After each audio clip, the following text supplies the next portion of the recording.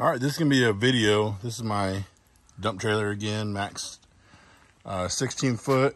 It's a uh, DJX. And uh, a lot, a few things I've done to this, upgrade the uh, tires because they sucked. I had a blowout on the way back from the dealer. So, um, but this is gonna be a video on changing this little 5 amp uh, charger and upgrading to the uh, Victron. This is a 12 volt 25 amp charger. This is their IP67 charger. I didn't find anything online about it except for in different languages. Um, and for my purposes, you know, I really wasn't sure how this would work out. Um, but it is waterproof. Uh, it is rated for 12 volt uh, charging at, and at 25 amp. It's Bluetooth. There's an app that you can change the charge settings. You can um, charge the uh, lithium iron phosphates, uh, the uh, lead acids that we have right here, AGMs, etc. I even believe the oh, what are they they call the advanced lead acid also I believe has a, a charge setting on on here also. Uh, don't quote me on that. Look it up yourself. Um, that's not what we're doing here. We're just going over the um, regular flooded lead acid. Everything here is sourced on Amazon. Uh, again, the Victron IP67 12 volt 25 amp charger. Excuse the noise.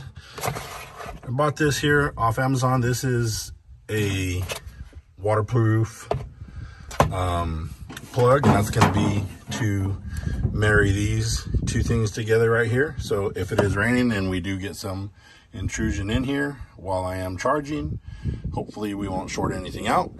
And I'm going to be changing this over uh, because I do think I haven't taken it apart yet, but I assume these things are uh, come as a package here for this little 5 amp charger. And this is the uh, Noco uh, GCP1. This is the AC port. This is just a 16 inch and it's, you know, got a little cover here to make it waterproof while you're rolling down the road, dust proof. Um, anyhow, this is going to be my uh, solution here, hopefully, to charge these batteries. These are the 24, group 24 batteries. And I believe looking them up online, they have uh, 70 or so amp hours of, uh, of capacity as a deep cycle. So, you know, you put 70 and 70 together, that's 140. Well, let's say you, you drain your battery down 50%. Well, 70 divided by 5, right? That's your 5 amp hours is 14 hours. So you, would have to be able to charge this for 14 hours in order to come to a uh, full charge again. These pumps here aren't, um, I mean, while they're small in size, if you look here, they're running at 257 amps of power. That's a 12 volt power, but still that, that's, I mean, you're looking close to uh, 3000 watts. So that's, you know, I believe it's Peukert's law. The the faster you discharge a battery, the the less reserve you're going to have. Um, it's not going to be as efficient.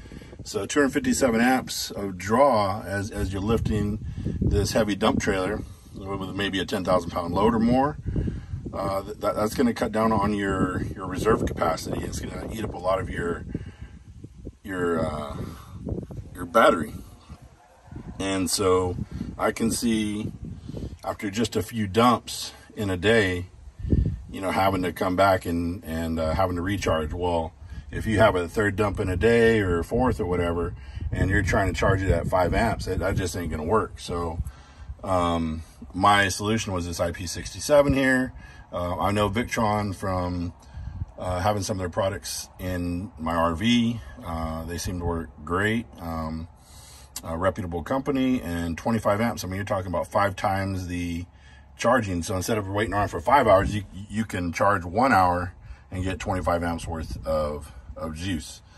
So it, it's it's quite a bit faster, hopefully, and and we'll uh, test it out real quick, and we will see um, using the battery tester. This thing is plugged in right now. How well this is going to work. All right, here we are. Everything's installed now.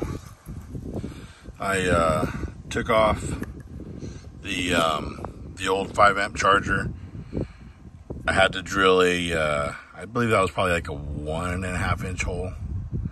Um, and I had to drill out a two inch hole with a little hole saw uh, attached to my drill. That took a little bit of time. Had to spray paint it.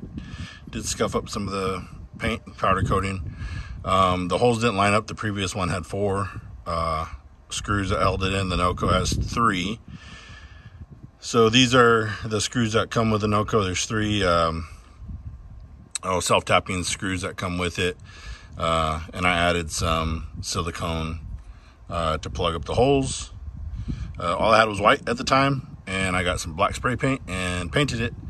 I used the the uh, file to file out the inside. Um, maybe it wasn't completely necessary, but I did it anyways. Uh, the plug is pretty robust inside. I don't think there'd be a whole lot of movement. Um, and so anyhow, I'll go ahead and plug it in. There it is, plugged in. So it's just a 16 inch uh, cord. You can see it just goes in right there. You can see how robust it is. Like I said, I don't think there'd be an issue, but there's some of the hole there. You can see they're a little bit jagged, but I did uh, file it down so while it does look rough, it's it's not sharp. Um, as you can see, this is how that cord goes in there. There's probably about three different layers of rubber on um, on this rubber grommet here. And so while it does look like there's a little bit of intrusion, the other three layers, I believe, are what is supposed to keep everything out. I think it'll be sufficient um, in here anyways. Uh, so that just runs over here, connected it to the battery. Uh, here's the uh, two cables that come from the uh, Victron charger, positive and a negative, connected to the batteries. And then here is, well, I'll just come around. Filming this right-handed, so I think it's easiest to come around to this side. And here is the charger. Hopefully that's coming in clear. And I just used some four self-tapping screws again uh, in order to mount it. it seems to be in place really strong. I don't think it's going to move anywhere. There is an app that uh, you use in order to connect to the charger, and you're able to uh, change between whatever settings you want to set it for whatever type of batteries you have. Again, I just got the uh, whatever it came with the interstate uh, lead acid flooded lead acid batteries I'm gonna go ahead and uh, see how they work. And eventually, I think I'm gonna change to the, I was looking at the lithium, but again, this thing is at 257 amps at 12 volts. Um, even the 100 amp hour lithium uh, batteries, uh, their BMS is usually about 100 amp BMS. Uh, it'll let it surge about twice as much usually for a few seconds, but I'm not sure that the lithium iron phosphates would be good for this, especially given the room.